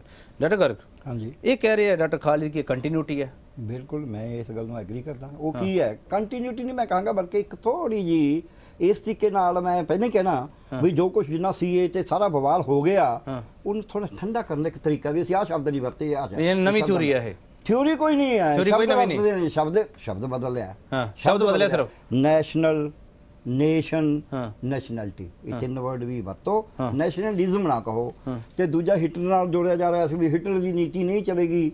ਤੇ ਉਹ ਵੀ ਤਾਂ ਕਿ ਆਪ ਹੀ ਕਹਿ ਦੋ ਵੀ ਹਿਟਲਰ ਤਾਂ ਮਾੜਾ ਸੀ। ਨੀਤੀ ਉਹੀ ਰੱਖਦੇ ਹੋਏ ਵੀ। ਯਾਨੀ ਕਿ ਬੜਾ ਸੋਚ ਸਮਝ ਕੇ ਬਿਆਨ ਦਿੱਤਾ ਗਿਆ। ਕੈਲਕੂਲੇਟਡ ਬਿਆਨ ਹੈ। ਇਹ ਕੋਈ ਵਿੱਚ ਵਿਚਾਲੇ ਨਹੀਂ ਮੋਹਨ ਭਗਤ ਜੀ ਬੜੇ ਇਦਾਂ ਤਾਂ ਥੋੜਾ ਵੀ ਉਹ ਸਿਆਣੇ ਬੰਦੇ ਨਹੀਂ ਉਹ ਬਹੁਤ ਸਿਆਣੇ ਨੇ। ਉਹ ਏਡੀ ਵੱਡੀ ਆਰਗੇਨਾਈਜੇਸ਼ਨ ਚੱਲ ਰਹੇ ਨੇ ਮੇਰਾ ਇੱਕ ਸਵਾਲ ਹੈ ਜੇ ਮੋਹਨ ਭਗਤ ਜੀ ਨੂੰ ਇਸੇ ਗੱਲ ਤੇ ਇਤਰਾਜ਼ ਹੈ ਜਿਹੜੇ ਸਰਸਵਤੀ ਵਿਦਿਆ ਮੰਦਿਰ ਚੱਲਦੇ ਨੇ ਉਹ ਤਾਂ ਖੇਤਰੀ ਆਰਐਸਐਸ ਹੈ। ਜਿਹੜੇ ਚਲਾ ਰਹੇ ਨੇ ਉਹ ਵਿਦਿਆ ਭਾਰਤੀ। ਤੇ ਉਹਦੇ ਵਿੱਚ ਸਾਰੇ ਬੱਚਿਆਂ ਤੋਂ ਸਕੂਲਾਂ ਦੇ ਬੱਚਿਆਂ ਤੋਂ ਦਸਤਖਤ ਕਰਾਏ ਜਾ ਰਹੇ ਨੇ। ਔਰ ਬਿਨਾਂ ਕੁਝ ਦੱਸੇ ਤੋਂ ਵੀ ਕਰੋ ਦਸਤਖਤ ਵੀ ਹਾਂ ਜੀ ਇਹ ਹੈਗਾ। ਐਜੀਟੇਸ਼ਨ ਹੋਈਆਂ ਨੇ ਧਨੌਲੇ ਦੇ ਵਿੱਚ ਹੋਈ ਹੈ ਜੱਤੋ ਚ ਹੋਈ ਹੈ ਥਾਂ ਥਾਂ ਤੇ ਹੋਈਆਂ ਨੇ। ਕਿ ਜੀ ਤੁਸੀਂ ਸਾਡੇ ਬੱਚੇ ਤੋਂ ਇੰਨੀ ਤੱਕ ਨਾ ਸਾਈਨ ਕਰਾਈ ਜਾਂਦੇ ਹੋ ਬਿਨਾਂ ਦੱਸੀ। ਸੋ ਕਹਿਣ ਦਾ ਮੇਰਾ ਮਤਲਬ ਇਹ ਹੈ ਵੀ ਆਰਐਸਐਸ ਦੀ ਇੱਕ ਜੇ ਆਰਐਸਐਸ ਤੋਂ ਚਲੇ ਜਾਂਦਾ ਮੈਂ ਤਾਂ ਕਹਿੰਦਾ ਆਰਐਸਐਸ ਨੂੰ ਡਟ ਕੇ ਰਹਿਣਾ ਚਾਹੀਦਾ ਇਸ ਗੱਲ ਤੇ। ਆਰਐਸਐਸ ਇਹ ਕਹਿੰਦਾ ਹੈ ਵੀ ਇਹ ਦੇਸ਼ ਹੈ ਹਿੰਦੂਆਂ ਦਾ। ਇਹਦੇ ਚ ਜੇ ਬਾਕੀਆਂ ਨੇ ਰਹਿਣਾ ਤਾਂ ਹਿੰਦੂਆਂ ਦੀ ਤਰ੍ਹਾਂ ਰਹਿਣਾ ਪਏਗਾ। ਆਪਣਾ ਧਰਮ ਬੇਸ਼ੱਕ ਮੰਨੀ ਜਾਣ ਪਰ ਸਾਰੀ ਗੱਲ ਜੋ ਹਿੰਦੂ ਕਹਿੰਦੇ ਨੇ ਉਦਾਂ ਕਰਨੀ ਪਏਗੀ ਇਹ ਆਰਐਸਐਸ ਦੀ ਅੰਡਰਸਟੈਂਡਿੰਗ ਹੈ। ਇਹਨਾਂ ਨੇ ਸਾਡੇ ਦੇਸ਼ ਤੇ ਕਬਜ਼ਾ ਕਰ ਨਹੀਂ ਲਿਆ ਤੁਸੀਂ ਇਹ ਕਹਿਣਾ ਚਾਹ ਰਹੇ ਹੋ। ਨਹੀਂ ਡਟ ਕਰ ਆਪਾਂ ਥੋੜਾ ਸਮਝ ਲਈਏ। ਹਾਂ, ਹਾਂ, ਤੁਸੀਂ ਇਹ ਕਹਿਣਾ ਚਾਹ ਰਹੇ ਹੋ ਕਿ ਹਿਟਲਰ ਵਾਲਾ ਜਿਹੜਾ ਵਿਰੋਧ ਬੀਜੇਪੀ ਦਾ ਖੜਾ ਹੋਇਆ ਉਸ ਵਿਰੋਧ ਨੂੰ ਸ਼ਾਂਤ ਕਰਨ ਦੇ ਲਈ ਬਿਲਕੁਲ, ਇਹ ਬਿਆਨ ਆਇਆ। ਬਿਲਕੁਲ। ਹਾਂ ਮੈਂ ਹਾਂ ਮਿਸਟਰ ਮਾਕਟ। ਕਿਪੀ ਜੀ ਦੇਖੋ ਇਹ ਇਹ ਜਿਹੜੀ ਇਹਨਾਂ ਦੀ ਸਟੇਟਮੈਂਟ ਹੈ ਇਹਦੇ ਵਿੱਚ ਦੋ ਚੀਜ਼ਾਂ ਬਹੁਤ ਇੰਪੋਰਟੈਂਟ ਹੈ। ਪਹਿਲੀ ਗੱਲ ਇਹ ਕੇਸ ਕੰਟੈਕਸਟ ਚ ਕਹੀ ਗਈ ਹੈ ਵੀ ਪੂਰੇ ਦੇਸ਼ ਦੇ ਵਿੱਚ ਸੀਏ ਦੇ ਖਿਲਾਫ ਪ੍ਰੋਟੈਸਟ ਹੋ ਰਿਹਾ ਹੈ। And he has quoted it ਵੀ ਤੁਸੀਂ ਉੱਥੇ ਆ ਚੀਜ਼ ਕਰੋ। ਦੂਜੀ ਉਹਨਾਂ ਨੇ ਗੱਲ ਕਹੀ ਹੈ ਆਪਣੀ ਸਟੇਟਮੈਂਟ 'ਚ ਤੁਹਾਡੇ ਚੈਨਲ ਨੇ ਵੀ ਪਲੇ ਕੀਤੀ ਹੈ ਵੀ ਨੈਸ਼ਨਲਿਜ਼ਮ ਦਾ ਯੂਜ਼ ਕਰਕੇ ਹਿਟਲਰ ਦੇ ਨਾਲ ਐਸੋਸੀਏਟ ਕੀਤਾ ਜਾ ਰਿਹਾ ਹੁਣ ਮੈਨੂੰ ਇੱਕ ਗੱਲ ਦੱਸੋ ਸਟੇਜਾਂ ਤੇ ਖੜ ਖੜ ਕੇ ਰਾਸ਼ਟਰਵਾਦ ਦੇ ਨਾਰੇ ਕੌਣ ਲਾਉਂਦਾ ਹੈ। ਅਮਿਤ ਸ਼ਾਹ ਜੀ ਲਾਉਂਦੇ ਆ ਨਾ ਜੀ? ਅਮਿਤ ਸ਼ਾਹ ਲਾ ਇਹ ਉਹਨਾਂ ਨੇ ਅਨ ਮਤਲਬ ਉਹਨਾਂ ਨੇ ਸਪਸ਼ਟ ਕਰਤਾ ਆ ਔਰ ਉਹਨਾਂ ਨੇ ਜਿਹੜੀ ਪਹਿਲਾਂ ਗੱਲ ਹੋਈ ਸੀਗੀ ਫਰਸਟ ਤੁਹਾਡੇ ਉਹਦੇ ਵਿੱਚ ਵੀ ਉਹਨਾਂ ਨੇ ਹਿਟਲਰ ਦੇ ਨਾਲ ਅਮਿਤ ਸ਼ਾਹ ਨੂੰ ਕੰਪੇਅਰ ਆਪ ਹੀ ਕਰਤਾ ਆ ਸੈਲਫ ਗੋਲ ਹੋ ਗਿਆ। ਤੇ ਮੈਂ ਮੇਜਰ ਸਾਹਿਬ ਨੂੰ ਪੁੱਛਣਾ ਚਾਹੁੰਦਾ ਹੈ ਸਰਵਾਰੀਆ ਸਾਹਿਬ ਤੁਸੀਂ ਸੀਏ ਦਾ ਐਕਟ ਪੜ੍ਹਿਆ ਹੈ ਜੀ ਪੂਰਾ? ਹਾਂ ਜਾਂ ਨਾ? ਨਾ ਨਾ ਹਾਂ ਨਹੀਂ ਮੈਂ ਤਾਂ ਬਣਾਇਆ ਕੀ ਕਹਿੰਦੇ ਤੁਸੀਂ ਪੜਿਆ ਉਹਦੇ ਵਿੱਚ ਮੈਨੂੰ- ਪੜ੍ਹਿਆ ਮੈਨੂੰ ਇੰਨਾ ਦੱਸ ਬਣਾਇਆ ਸਰਵਾਰੀਆ ਅਸੀਂ। ਸਾਹਿਬ, ਸਿਰਫ ਤੁਸੀਂ ਬਾਹਰ ਨਿਕਲੇ ਸੀ। ਅੱਛਾ, ਕੋਈ ਗੱਲ ਨਹੀਂ। ਪਾਰਲੀਮੈਂਟ ਤੇ ਪਾਸ ਮੈਨੂੰ- ਹੋਇਆ ਦੋਨੋਂ ਠੀਕ, ਕੀ ਸਵਾਲ- ਸਵਾਲ ਪੁੱਛਦੇ ਸਵਾਲ ਲਓ। ਸੋ, ਇੱਕ ਮਿੰਟ ਅਸੀਂ ਬਣਾਇਆ ਲਓ, ਇੱਕ ਮਿੰਟ ਗੱਲ ਬੋਲੋ? ਬੋਲੋ, ਕੀ ਕਹਿਣਾ ਚਾਹੁੰਦੇ? ਤੁਸੀਂ ਮੈਨੂੰ ਦੱਸੋ ਉਹਦੇ ਕਿਹੜੇ ਫਰੇਜ਼ ਦੇ ਵਿੱਚ ਜਾਂ ਕਿਹੜੀ ਲਾਈਨ ਦੇ ਵਿੱਚ ਇਹ ਮੈਂਸ਼ਨ ਹੈ ਵੀ ਇਹ 6 ਮੁਲਕ 6 ਰਿਲੀਜਨ ਦੇ ਲੋਕ ਜੇ ਉਹਨਾਂ ਦੀ ਹਿਊਮਨ ਰਾਈਟ ਵਾਇਓਲੇਸ਼ਨ ਹੁੰਦੀ ਹੈ ਉਹ ਕਿਤੇ ਨਹੀਂ ਕਿਤੇ ਨਹੀਂ ਉਹ ਮੈਂਸ਼ਨ ਕਿੱਥੇ ਆ? ਤੁਸੀਂ। ਲੋਕ ਹਾਂ ਕਿਤੇ- ਨਹੀਂ ਹੈਗਾ ਬਸ। ਇੱਕ ਮਿੰਟ ਹਾਂ, ਦੱਸੋ। ਇੱਕ? ਮਿੰਟ ਸੁਣੋ ਸਾਹਿਬ ਨਹੀਂ ਹੈਗਾ ਨਾ ਤੁਸੀਂ ਕਹਿ ਦੋ ਨਾ ਨਹੀਂ ਹੈਗਾ ਨਹੀਂ ਨਹੀਂ ਮੈਂ ਇਹ ਕਹਿਣਾ ਹੈਗਾ ਤੁਸੀਂ ਜਦੋਂ you ਤੋਂ- fooling? ਜਦੋਂ ਇਹਨਾਂ ਨੇ ਕਾਂਗਰਸੀਆਂ ਨੇ fooling the ਟੁਕੜੇ ਕੀਤੇ nation? ਸੀ। ਇਹਨਾਂ ਦੇ ਲੀਡਰਾਂ ਨੇ ਵਰਗੇ fooling the ਟੁਕੜੇ nation, ਕੀਤੇ ਸੀ। sir? ਇੱਕ ਮਿੰਟ, ਉਹਦੀ ਜਿਹੜੀ ਸਾਰੀ ਵਿੱਚ nation? ਕਿਹਾ ਅੱਛਾ, ਅੱਛਾ। ਜਿੱਥੇ ਵੀ ਪ੍ਰੋਬਲਮ ਆਊਗੀ ਇੱਕ ਮਿੰਟ the nation? ਮੰਗੜ ਸਾਰਾ ਸਾਹਿਬ ਕਸੂਰ ਮੰਗੜ ਸਾਹਿਬ ਇਹਨਾਂ ਨੇ ਖੱਡੇ ਖੋਦੇ ਉਹਨਾਂ ਜਵਾਬ ਆ ਗਿਆ ਸੁਣੋ ਸੁਣੋ ਸਾਹਿਬ ਇੱਕ ਸਵਾਲ ਦਾ ਜਵਾਬ ਮੈਨੂੰ ਦਿਓ। ਬੜਾ ਇਮਾਨਦਾਰ ਨਾਲ ਮੈਨੂੰ ਤੁਹਾਡੇ ਤੋਂ ਜਵਾਬ ਜੀ। ਕਿ ਇਸ ਤੋਂ ਪਹਿਲਾਂ ਤੁਸੀਂ ਹਿਟਲਰ ਵਾਲੀ ਰਾਜਨੀਤੀ ਕਰਦੇ ਸੀ ਜਿਹੜਾ ਸੰਘ ਮੁਖੀ ਨੂੰ ਬਿਆਨ ਦੇਣਾ ਪਿਆ ਕਿਉਂਕਿ ਨੈਸ਼ਨਲਿਜ਼ਮ ਤਾਂ ਤੁਸੀਂ ਬੋਲਦੇ ਸੀ ਨਾ KP ਜੀ। ਤੁਸੀਂ ਲਿਖਦੇ ਸੀ ਬੋਲਦੇ ਸੀਗੇ ਇਸ ਇਹਦਾ ਮਤਲਬ ਇੱਕ ਮਿੰਟ ਸਵਾਲ ਪੂਰਾ ਲੈ ਲਓ ਫਿਰ ਦੁਬਾਰਾ ਕੇ ਬੋਲੂੰਗਾ। ਹਾਂ ਵੀ ਇਹਦਾ ਮਤਲਬ ਇਹ ਹੈ ਕਿ ਇਸ ਤੋਂ ਪਹਿਲਾਂ ਤੁਸੀਂ ਹਿਟਲਰ ਵਾਲੀ ਰਾਜਨੀਤੀ ਕਰਦੇ ਰਹੇ ਹੋ ਨਹੀਂ ਕੇਪੀ ਜੀ ਫਿਰ ਮੈਂ ਕਹਿਣਾ ਚਾਹੁੰਦਾ ਹਾਂ ਕਿ ਆਪ ਭਾਗਵਤ ਜੀ ਦੇ ਬਿਆਨ ਨੂੰ ਜਦ ਸੁਣਦੇ ਹੋ ਉਹ ਕਹਿੰਦੇ ਹੈ ਕਿ ਜਿੱਦਾਂ ਸਾਡੇ ਹੁਣ ਵਿਰੋਧੀ ਹੁਣ ਸੀਏ ਦੀ ਗੱਲ ਕੀਤੀ ਇੱਥੇ ਆ ਕਰਕੇ ਕਿ ਜੋ ਸੀਏਏ ਕਿਸੇ ਦੀ ਨਾਗਰਿਕਤਾ ਲੈ ਨਹੀਂ ਰਿਹਾ ਉਹ ਦੇ ਰਿਹਾ ਹੈ ਉਹਦੇ ਉੱਪਰ ਇਹ ਸਾਰੇ ਕਾਂਗਰਸ ਮਿੰਟ ਇੱਕ ਮਿੰਟ ਤੁਸੀਂ ਮੇਰੇ ਸਵਾਲ ਦਾ ਜਵਾਬ ਦਿਓ ਉਧਰ ਚਲੇ ਜਾਂਦੇ ਹੋ। ਨਾ ਨਾ ਅਸੀਂ ਅੱਛਾ ਮੈਨੂੰ ਮੈਨੂੰ ਮੈਨੂੰ ਇੱਕ ਜਾਣਕਾਰੀ ਨਹੀਂ ਹੈਗੀ। ਚਲੋ ਮੇਰੀ ਜਾਣਕਾਰੀ ਚ ਵਾਧਾ ਕਰ ਦਿਓ ਦਰਸ਼ਕਾਂ ਨੂੰ ਪਤਾ ਲੱਗ ਦਰਸ਼ਕਾਂ ਨੂੰ ਵੀ ਪਤਾ ਲੱਗ ਜੂਗਾ। ਭਾਗਵਤ ਸਾਹਿਬ ਇੰਗਲੈਂਡ ਕਦੋਂ ਗਏ ਸੀਗੇ? ਜਿੱਥੋਂ ਉਹਨਾਂ ਨੂੰ ਪਤਾ ਲੱਗਿਆ ਕਿ ਨੈਸ਼ਨਲਿਜ਼ਮ ਨੂੰ ਨਾਜ਼ੀਵਾਦ ਕਹਿੰਦੇ ਹਿਟਲਰ ਕਹਿੰਦੇ ਕਹਿਣਾ ਚਾਹ ਰਿਹਾ ਕਿ ਅਸੀਂ ਹਿਟਲਰ ਦੀ ਹਿਟਲਰਵਾਦੀ ਰਾਜਨੀਤੀ ਨਹੀਂ ਕਰਦੇ ਸੀ ਬਟ ਸਾਡੇ ਜਿਹੜੇ ਵਿਰੋਧੀ ਨੇ ਉਹ ਬਿਆਨ ਨੂੰ ਇਦਾਂ ਮਾਈਨੋਰਿਟੀ ਨੂੰ ਡਰਾਉਣ ਵਾਸਤੇ ਇਹ ਸੀਏ ਵਿੱਚ ਹੈ ਕੀ ਜੋ ਇਦਾਂ ਦੀ ਖੋਪ ਪੈਦਾ ਕੀਤਾ ਹੈ, ਇਹਨਾਂ ਦੀ ਖੋਪ ਪੈਦਾ ਹੋਇਆ। ਸਾਹਿਬ ਇਹ ਕਿਹੜਾ ਇੰਗਲੈਂਡ ਦੌਰਾ ਜਿੱਥੋਂ ਸੰਘ ਮੁਖੀ ਨੂੰ ਪਤਾ ਲੱਗਾ ਕਿ ਨੈਸ਼ਨਲਿਜ਼ਮ ਨੂੰ ਇਦਾਂ ਕਹਿੰਦੇ ਆ? ਦੇਖੋ ਮੇਰੀ ਨੌਲੇਜ ਦੇ ਵਿੱਚ ਤਾਂ ਸੰਘ ਮੁਖੀ ਰੀਸੈਂਟਲੀ ਇੰਗਲੈਂਡ ਗਏ ਹੁਣ ਨਹੀਂ ਹੈ। ਲੇਕਿਨ ਇਹ ਹੈਗਾ ਵੀ ਅੱਜਕੱਲ ਸਾਰੀ ਦੁਨੀਆ ਕਨੈਕਟਡ ਹੈ ਪਤਾ ਲੱਗਦਾ ਰਹਿੰਦਾ ਵੀ ਕਿੱਥੋਂ ਫੀਡਬੈਕ ਆਉਂਦਾ ਨਾ ਕਿਉਂਕਿ ਆਰਐਸਐਸ ਦੀਆਂ ਸ਼ਾਖਾਵਾਂ ਜਿਹੜੇ ਹੈਗੀਆਂ ਤਕਰੀਬਨ ਹਰ ਕੰਟਰੀਜ਼ ਦੇ ਜਿੱਥੇ ਇੰਡੀਅਨ ਡਾਇਸਪੋਰਾ ਬੈਠਾ ਹੈ। ਮਤਲਬ friends of the BJP friends of the Congress ਵੀ ਹੈਗੇ ਆ। ਤੇ ਉਹ ਸਾਰੇ ਹੈਗੇ ਪਤਾ ਲੱਗਦਾ ਰਹਿੰਦਾ। ਮੈਂ ਜਿਹੜੀ ਗੱਲ ਇੱਕ ਫੈਲਾਈ ਜਾ ਰਹੀ ਹੈ ਨਾ ਬਾਰ-ਬਾਰ ਇਵਨ ਪ੍ਰਾਈਮ ਮਿਨਿਸਟਰ ਵੀ ਇਹ ਗੱਲ ਕਹਿ ਰਿਹਾ ਹੈ ਕਿ ਜਿਹੜਾ ਸੀਏਏ ਅਮੈਂਡਮੈਂਟ ਹੋਈ ਹੈ ਇਹ ਕਿਸੇ ਨੂੰ ਜਿਹੜਾ ਹੈਗਾ ਦੇ ਰਿਹਾ ਸਿਟੀਜ਼ਨਸ਼ਿਪ ਲੈ ਲੈ- ਨਹੀਂ ਰਿਹਾ, ਮੈਂ ਇਹ ਗੱਲ ਕਹਿ ਰਿਹਾ ਵੀ ਧਰਮ ਦੇ ਆਧਾਰ ਤੇ ਸਿਟੀਜ਼ਨਸ਼ਿਪ ਡਿਨਾਈ ਤਾਂ ਕੀਤੀ ਜਾ ਰਹੀ ਹੈ ਨਾ। ਇੱਕ ਇੱਕ ਤਬਕੇ ਨੂੰ ਦਿੱਤੀ ਜਾ ਰਹੀ ਹੈ ਇੱਕ ਨੂੰ ਡਿਨਾਈ ਕੀਤੀ ਜਾ ਰਹੀ ਹੈ। ਇਹ ਤਾਂ ਫੈਕਟ ਹੈ ਨਾ। ਜਿਹੜਾ ਕਿ ਦੇਖੋ ਅਗਰ ਤੁਸੀਂ ਇਹ ਕਹੋ ਜੀ ਕਿ ਜਿੰਨੇ ਵੀ ਬੰਦੇ ਜਿਹੜੇ ਤਿੰਨ ਚਾਰ ਕੰਟਰੀਜ਼ ਦੇ ਵਿੱਚੋਂ ਤੁਸੀਂ ਇਹ 6 ਧਰਮਾਂ ਦੇ ਬੰਦੇ ਜਿਹੜੇ ਹੈਗੇ ਆ ਜਦੋਂ ਆਉਣਗੇ ਤੁਹਾਡੇ ਕੋਲ ਕੀ ਸਬੂਤ ਹੈ ਕਿ ਉਹ ਜਿਹੜੇ ਹੈਗੇ ਪੜਤਾੜਤੀ ਹੈ? ਉਹ ਕਿਸ ਮੰਤਵ ਨਾਲ ਆਏ ਆ? ਕਿਸ ਪਰਪਸ ਨਾਲ ਆਏ ਆ। ਹੈ ਹੀ ਨਹੀਂ ਸ਼ਬਦ ਨਹੀਂ ਹੈਗਾ। ਮੈਂ ਕਿਹਾ ਉੱਥੇ ਕੁਝ ਨਹੀਂ ਲਿਖਿਆ ਹੋਇਆ। ਮੈਂਸ਼ਨ ਹੀ ਨਹੀਂ ਹੈਗਾ ਸਿਰਫ। ਇਹ ਲਿਖਿਆ ਹੋਇਆ ਹੈ। ਝੂਠ ਬੋਲਣ ਦੀ ਆਦਤ ਹੈ ਇਹਨਾਂ ਦੀ। ਇਹ ਤਾਂ 6-6 ਦੇਖੋ, ਇੱਕ ਮਿੰਟ ਗੱਲ- ਪੂਰੀ ਹੋ ਗੱਲ ਪੂਰੀ ਇਹਦਾ ਇਹਦਾ ਮਤਲਬ ਇਹ ਹੈਗਾ ਕਿ ਤੁਸੀਂ ਸੰਵਿਧਾਨ ਦੀ ਜਿਹੜੀ ਮਰਿਆਦਾ ਹੈ ਜਿਹੜਾ ਬੇਸਿਕ ਸਟਰਕਚਰ ਹੈ ਉਹਨੂੰ ਕਿਸੇ ਨਾ ਕਿਸੇ ਪਰਖ 'ਚ ਉਡਾਉਣੇ ਸ਼ੁਰੂ ਕਰਨਾ ਚਾਹੁੰਦੇ ਹੋ। ਇੱਕ ਵਾਰ ਅਗਰ ਇਹ ਚੀਜ਼ ਹੋ ਗਈ ਤਾਂ ਇਹ ਇੱਥੇ ਰੁਕਣ ਵਾਲੀ ਨਹੀਂ ਹੈ। ਇਹ ਤੇ ਅੱਗੇ ਬਹੁਤ ਕੁਝ ਹੋਣਾ ਹੈ। ਇਸ ਕਰਕੇ ਹੀ ਇਹਦਾ ਵਿਰੋਧਤਾ ਬਹੁਤ ਜ਼ਿਆਦਾ ਹੋ ਰਹੀ ਹੈ। ਠੀਕ ਹੈ। ਡਾਕਟਰ ਗਰਗ ਤੁਸੀਂ ਸੰਵਿਧਾਨ ਪੂਰਾ ਪੜਿਆ ਹੋਇਆ। ਤੁਸੀਂ ਅਕਸਰ ਸੰਵਿਧਾਨ ਦਾ ਜ਼ਿਕਰ ਵੀ ਕਰਦੇ ਹੋ। ਸੰਵਿਧਾਨ ਵਿੱਚ ਨੈਸ਼ਨਲਿਜ਼ਮ ਸ਼ਬਦ ਹੈ? ਬਿਲਕੁਲ ਕੋਈ ਨੈਸ਼ਨਲ ਸੰਵਿਧਾਨ ਦਾ ਤਾਂ ਜਿਹੜਾ ਪਹਿਲਾ ਆਰਟੀਕਲ ਉਹ ਕਹਿੰਦਾ ਹੈ। ਭਾ India. That is Bharat is ਜੋ, ਅ। ਯੂਨੀਅਨ ਆਫ ਸਟੇਟਸ ਹਾਂ। ਉਹ ਤਾਂ ਕਹਿੰਦਾ ਨਹੀਂ ਵੀ ਇੱਕ ਦੇਸ਼ ਹੈ। ਯੂਨੀਅਨ ਆਫ ਸਟੇਟਸ ਹੈ ਪਹਿਲੀ ਗੱਲ। ਦੂਜੀ ਗੱਲ ਮੈਂ ਹੋਰ ਕਹਿਣਾ ਜਿਹੜੀ ਸਨਵਾਰੀਆ ਸਾਹਿਬ ਨੇ ਕਹੀ ਹੈ ਵੀ ਇਹ ਨਾਗਰਿਕਤਾ ਦੇਣ ਦਾ ਹੈ। 2003 ਦੇ ਵਿੱਚ ਬੀਜੇਪੀ ਨੇ। ਹੂੰ। ਸੀਏ ਸੀਏ ਰੂਲਸ ਦੀ ਨਾ ਗੱਲ ਕਰਦਾ। ਹੂੰ। 2003 ਦੇ ਵਿੱਚ ਐਕਟ ਬਣਾਇਆ ਉਹਦੇ ਵਿੱਚ ਧਾਰਾ 14 ਦੇ ਵਿੱਚ ਬਦਲੀ ਕਰਕੇ ਕਿਹਾ ਵੀ ਐਨਆਰਸੀ ਹੋਏਗਾ। ਐਨਆਰਸੀ ਦੇ ਵਿੱਚ ਹਰੇਕ ਨੇ ਆਪਣੀ ਨਾਗਰਿਕਤਾ ਪ੍ਰੂਵ ਕਰਨੀ ਹੈ। ਜਿਹਦੀ ਨਾਗਰਿਕਤਾ ਨਹੀਂ ਪ੍ਰੂਫ ਹੋਏਗੀ ਇਹ ਤਾਂ ਕਹਿੰਦੇ ਖੋਹਣ ਦਾ ਨਹੀਂ ਹੈ। ਜਿਹਦੀ ਨਾਗਰਿਕਤਾ ਪ੍ਰੂਫ ਗਾਹ ਕੀ ਲਿਖਿਆ? ਜਿਹਦੀ ਨਾਗਰਿਕਤਾ ਪ੍ਰੂਵ ਨਹੀਂ ਹੋਏਗੀ ਉਹਨੂੰ ਨੋਟਿਸ ਤਾਂ ਲਿਖਿਆ ਡਾਊਟਫੁਲ ਉਹਨੂੰ ਡਾਊਟਫੁਲ ਚ ਲਿਖਿਆ ਜਾਊਗਾ। ਫਿਰ ਡਾਊਟਫੁਲ ਤੋਂ ਅੱਗੇ ਲਿਖਿਆ ਵੀ ਉਹਨੂੰ ਇੱਕ ਪਰਚਾ ਦਿੱਤਾ ਜਾਏਗਾ। ਉਹ ਪਰਚੇ ਰਾਹੀਂ ਤਹਿਸੀਲਦਾਰ ਕੋਲ ਜਾ ਕੇ ਸਾਬਤ ਕਰੇਗਾ ਉਹਦੀ ਸੁਣਵਾਈ ਹੋਏਗੀ। ਜੇ ਉਹ ਸਾਬਤ ਨਹੀਂ ਕਰ ਸਕੇਗਾ ਉਹਦੀ ਨਾਗਰਿਕਤਾ ਖਤਮ ਹੋ ਜਾਏਗੀ। ਇਹ ਵਿੱਚ ਹੀ ਲਿਖਿਆ ਇਹਨਾਂ ਦੇ ਬਣਾਏ ਹੋਏ ਰੂਲ ਠੀਕ ਠੀਕ ਹੈ। ਇੱਕ ਮੈਂ ਹੋਰ ਮੈਂ ਛੋਟਾ ਜਿਹਾ ਬ੍ਰੇਕ ਲੈਣਾ Act ਛੋਟਾ। ਛੋਟਾ ਜਿਹਾ ਬ੍ਰੇਕ ਲੈ ਕੇ ਵਾਪਸ ਆ ਰਹੇ। ਵੈਸੇ ਤਾਂ ਤਕਰੀਬਨ ਸਾਰੇ ਮੁੱਦਿਆਂ ਤੇ ਡਿਬੇਟ ਹੋ ਚੁੱਕੀ ਹੈ ਪਰ ਇੱਕ ਸਵਾਲ ਹੈ ਜਿਹੜਾ ਅਹਿਮ ਹੈ ਸਿੱਧੇ ਸ਼ਬਦਾਂ ਵਿੱਚ ਉਹਨੂੰ ਸਮਝਣਾ ਵੀ ਪਵੇਗਾ ਕਿ ਭਾਗਵਤ ਦੇ ਇਸ ਬਿਆਨ ਦਾ ਭਵਿੱਖ ਕੀ ਹੈਗਾ। ਉਸ ਭਵਿੱਖ ਨੂੰ ਅਸੀਂ ਚੰਗੀ ਤਰ੍ਹਾਂ ਉਸ ਕੰਟੈਕਸਟ ਦੇ ਵਿੱਚ ਸਮਝਣ ਦੀ ਕੋਸ਼ਿਸ਼ ਕਰਾਂਗੇ। ਡਾਕਟਰ ਖਾਲਿਦ ਵੀ ਹੈ ਡਾਕਟਰ ਗਰਗ ਵੀ ਹੈਗੇ ਆ ਤੇ ਪਰ ਇਹਨਾਂ ਨੇ ਤਾਂ ਸਿਆਸਤ ਕਰਨੀ ਹੈਗੀ ਆ। ਇਹਨਾਂ ਤੋਂ ਸਮਝਣ ਦੀ ਕੋਸ਼ਿਸ਼ ਕਰਾਂਗੇ ਇਸ ਬਿਆਨ ਨੂੰ ਕਿਹੜਾ ਭਵਿੱਖ ਮੰਨਦੇ ਪਏ ਬ੍ਰੇਕ ਤੋਂ ਵਾਪਸ ਆ ਰਹੇ ਹਾਂ। ਸਵਾਲ ਲਿਖਿਓ ਪੁੱਛ ਰਹੇ ਵੱਡਾ ਸਵਾਲ ਸੀ ਇਹ ਪੁੱਛ ਰਹੇ ਰਾਸ਼ਟਰਵਾਦੀ ਸੰਘ ਮੁਖੀ ਦੀ ਨਵੀਂ ਥਿਊਰੀ ਤੇ ਕਿਹੜੀ ਸਿਆਸਤ ਜ਼ਰੂਰੀ ਹੈ? ਹਾਂ ਸਰਵਾਲੀ ਸਾਹਿਬ ਕੀ ਕਹਿਣਾ ਚਾਹ ਰਹੇ ਸੀ ਨਹੀਂ ਮੈਂ ਉਹ ਕਹਿਣਾ ਚਾਹ ਰਿਹਾ ਹੂੰ ਡਾਕਟਰ ਸਾਹਿਬ ਗਰਗ ਸਾਹਿਬ ਕਹਿ ਰਹੇ ਸੀ ਦੇਖੋ ਉਹ ਫਿਰ ਵਹੀ ਗੱਲ ਬਿਆਨੀ ਕਰਤੀ ਕਿ ਸੀਏਏ ਔਰ ਐਨਆਰਸੀ ਨਾਲ ਜੋੜਤਾ।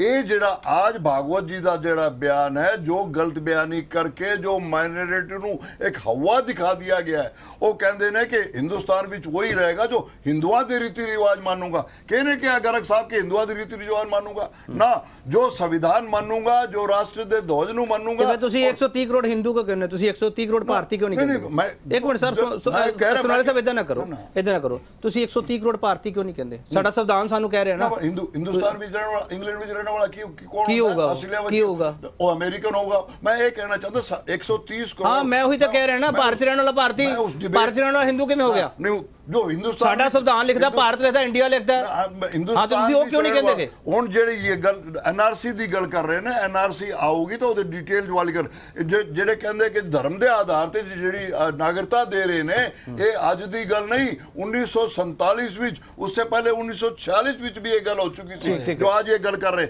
ਗਲਤ ਬਿਆਨ ਨਹੀਂ ਕਰ ਰਹੇ ਇੱਕ ਹਵਾ ਖੜਾ ਕਰ ਰਹੇ ਨੇ ਠੀਕ।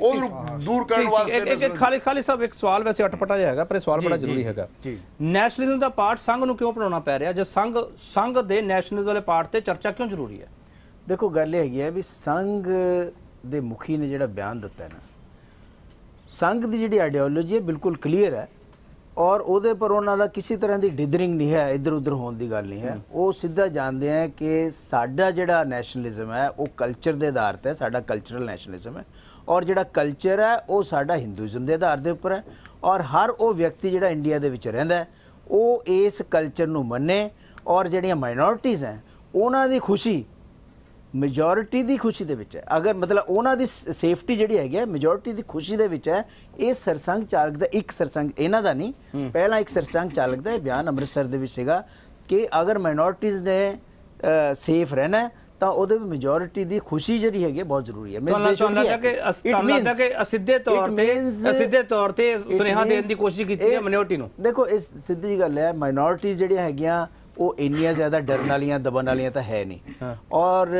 ਮਾਈਨੋਰਿਟੀਜ਼ ਇੱਕ ਅੱਛਾ ਖਾਸਾ ਵਰਗ ਹੈ ਸਾਡੇ ਦੇਸ਼ ਦਾ। ਔਰ ਅੱਜ ਤੋਂ ਨਹੀਂ ਹੈ ਸ਼ੁਰੂ ਤੋਂ ਹੈ।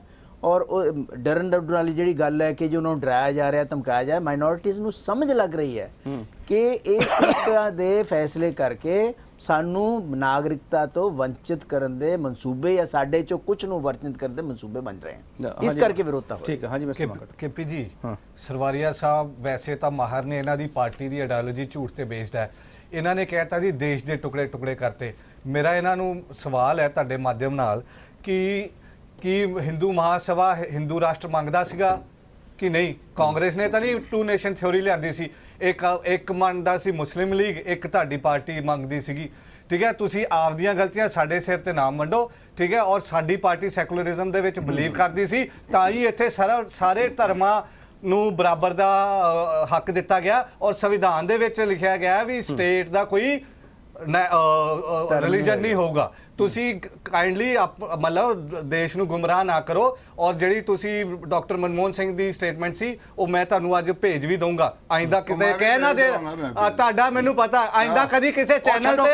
ਸਾਡੇ ਸਾਡੇ ਪਤਾ ਤਾਂ ਤੁਹਾਡਾ ਉਹ- ਵੀ ਹੈ, ਉਹ ਸਾਡੇ ਚੈਨਲ ਮੰਨਣ ਨੂੰ ਆਇੰਦਾ ਆਪਣਾ ਮਜ਼ਾਕ ਨਾ ਬਣਵਾਇਓ ਓਏ ਸੋਨੀਆ ਗਾਂਧੀ। ਉਹ ਛੱਡੋ ਛੱਡੋ ਸਾਰੇ ਕੰਟਰੀ ਨੂੰ ਜੋ ਤੰਗ ਕਰ ਆਇੰਦਾ- ਸਾਰਾ ਜ਼ਹਿਰ ਆਇੰਦਾ ਬੀਜ ਦੇ ਜ਼ਹਿਰ ਦੇ ਦਿਓ, ਹੋ। ਨਾ ਕਰੋ ਇਹ ਕਾਂਗਰਸ ਸੁਨਾਰੇ ਸਾਹਿਬ ਆਖਰੀ ਕਮੈਂਟ ਤੁਹਾਡੇ ਤੋਂ ਲੈਣਾ। ਹਿੰਦੂ ਰਾਸ਼ਟਰ ਵਾਲੇ ਤੁਸੀਂ ਆਪਦੇ ਏਜੰਡੇ ਤੇ ਕਾਇਮ ਹੋ यस हिंदू राष्ट्र दा कहने व्हाट उसमें डिफरेंस उसमें गर- खराबी क्या फिर है ਇਹਦਾ ਮਤਲਬ जो ਜਿਹੜੇ भारत ਸਿੱਖ को अपना ਖਾਲਿਸਤਾਨ राष्ट्र- ਮੰਗਦੇ ਹੋ, जो militant अपना नहीं है। भारत और सुन लो जो हाँ, भारत- दसो, एक मिनट, एक मिनट, मगर सर सुन जो लो। भारत ਨੂੰ ਆਪਣਾ ਦੇਸ਼ ਮੰਨਦਾ ਹੈ ਉਹ ਭਾਰਤਵਾਸੀ ਉਹ ਭਾਰਤ ਦਾ ਨਾਗਰਿਕ ਨੈਸ਼ਨਲ ਹੈ ਜੋ ਆਦਮੀ ਸੰਵਿਧਾਨ ਨੂੰ ਮੰਨਦਾ ਹੈ ਕੋਈ ਵੀ ਹੋਏ ਅਸੀਂ ਜਾਤ ਦੀ ਗੱਲ ਨਹੀਂ ਕਰਦੇ ਧਰਮ ਦੀ ਗੱਲ ਨਹੀਂ ਨਹੀਂ ਕਰ ਰਹੇ। ਇਹ ਤਾਂ confusion he is asking you Hindu ਇਹ ਰਾਸ਼ਟਰ ਦੇ ਬਾਰੇ। ਇਹ ਤੇ ਡਰ ਆਇਆ ਨੇ ਇਹ ਜਿਹੜੇ ਜੋ ਝੰਡੇ ਨੂੰ ਹਿੰਦੂ ਰਾਸ਼ਟਰ। ਜਲਾਉਣ ਦੀ ਕੋਸ਼ਿਸ਼ ਕਰਦੇ ਨੇ। ਪਹਿਲਾ ਸੁਨਾਰੇ ਹਿੰਦੂ ਰਾਸ਼ਟਰ। ਸੰਵਿਧਾਨ ਵਿੱਚ ਹਿੰਦੂ ਰਾਸ਼ਟਰ ਲਿਖਿਆ ਕਿਤੇ? ਕਹਿੰਦੇ?